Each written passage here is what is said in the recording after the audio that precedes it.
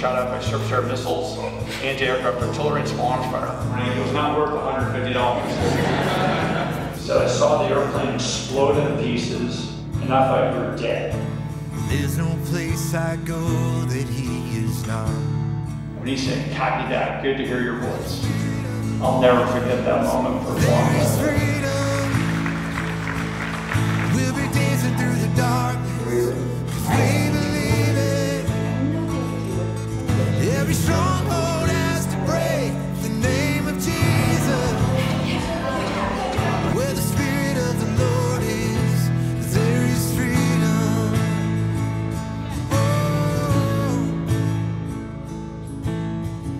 My name is Julia Gottfried. Okay, I'm Kayla Higgins. And I am Joel Fowler. So, this was a human sized chess game.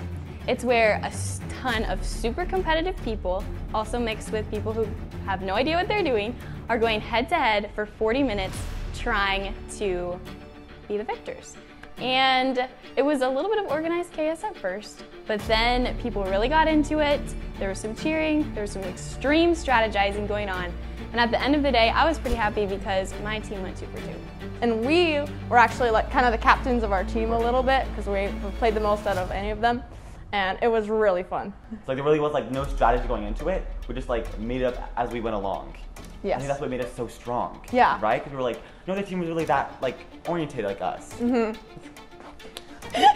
In that Sorry, way- we, we that love you guys, but way. but yeah, we're, we're good way. chess players. Yeah. no, no, no, Like, like, I, not talk- I talked to them and they said like they like planned it out, but we really didn't. So Yeah. That way we're different. Are you a chess player, Julia? No. I was one of the I had no idea what was happening people. I was there for moral support. Where'd the queen go? Wait. My I am a queen. Ah. Moved my wife. I'm a rock. Your Majesty. You're alone and unprotected. Aw, did the king just say that? That's why I married her.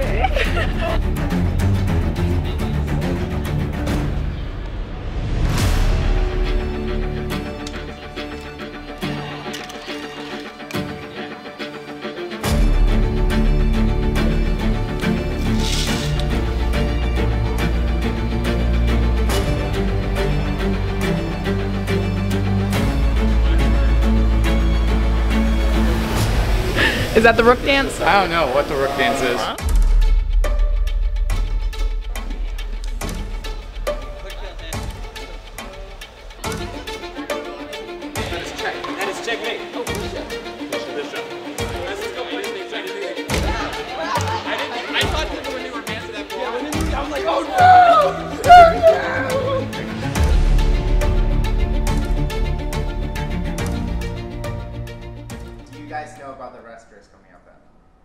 Actually, I just heard about it when I walked in the building. Yeah. So, well, I don't know, like, no, someone said it's about like a four mile walk, and that's all I heard, and it doesn't, yeah, that's what someone said, but I, that's all I know. That's all I know. I Could be wrong. I have a feeling it's not going to be restful at all. I hope it means that first one to take a nap. Because rest means rest. I actually have no idea. One sentence, how would you describe the rest race today? terrible. The rust race was terrible. Yesterday, I had three Charlie horses. So, I mean, th- this is me just going into it. We we get down to the bottom of the beach, and it's just sand. There's all this cold water, and then we immediately go to an even colder thing of water, just with the the ice. I was really pumped up for it. I was stretching the whole time for like 10 minutes, and I was really excited to get moving and see how far I could go. We started right into the sand, like right off the bat, getting dirty, and The first thing was the sand. I was not ready to get myself full of sand. I was the timer, so um, I didn't have to experience that, but I was there for like mental support and like cheering them on and encouraging them. And then from there, it's just a lot of running, and then swimming, and then we got out of the water, and then we had to run from there, and then there was the slip and slide, which actually wasn't that bad. So we were on the slip and slide team, basically trying to make them slip and slide. So it was very interesting seeing the different techniques. There were some people who just like gingerly walked through the whole thing, like right down the middle in the soap and somehow didn't fall. There's some people who, you know, when they showed up, they were like, wait, like, can we run? And we're like, yes, that's kind of the point. It's a slip and slide. They're like, awesome. So they'd like, you know, pull back, get a running start, and then just like Superman, like all the way down or attempt to. And yeah, so that was pretty fun.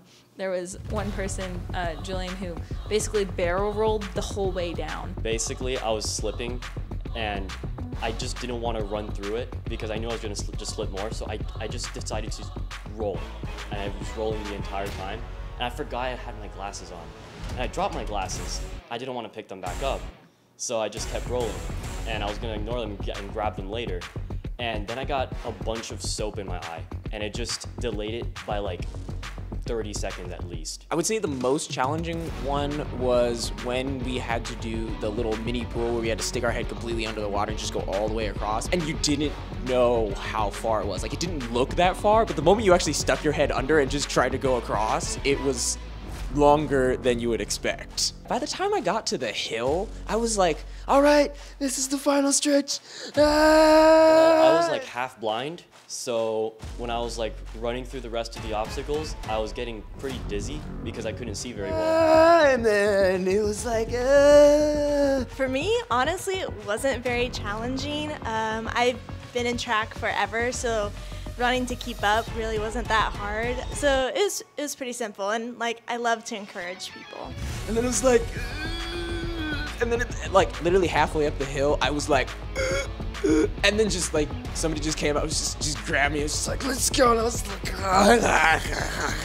So it's this like very steep hill that takes like a lot of grit. It's like the last thing, so you're like the most exhausted. You have to like push up it and like hit the zip line tower. You're like, oh, it's the last thing. Like this should be like easier or whatever. People are encouraging you, and then all of a sudden they did not expect to get like hit with a whole bunch of water balloons.